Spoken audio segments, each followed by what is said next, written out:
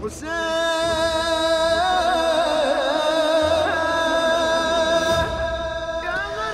زيارة من زيارات الإمام الصادق عليه الصلاة والسلام لجده سيد الشهداء صلوات الله وسلامه عليهما. يخاطب هذه العبارة سمعتموها من الخطباء الكرام عبارة جدا قوية. يقول مخاطبا جده صلوات الله وسلامه عليهما وضمن يعني الله عز وجل ضمن جعل ضمانا.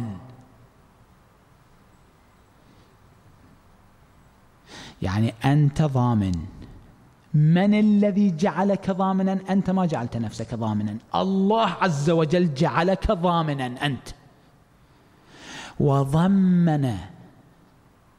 الإمام يخاطب جده صلوات الله عليه واله وضمن الله يعني وضمن الأرض ومن عليها.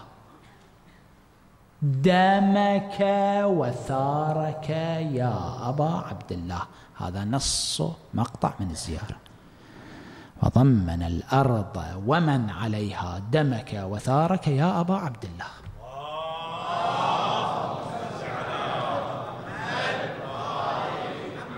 لماذا؟ الإصرار على الشعار الحسيني أريد أن أخرج من هذا الضمان.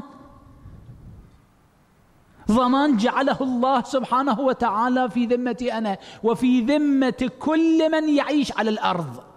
ومن عليها؟ من على الأرض. يعني كل البشر وكل الجن. هؤلاء الذين ينطبق عليهم من على الأرض. عادة من تستعمل لذوي العقول. البشر والجن.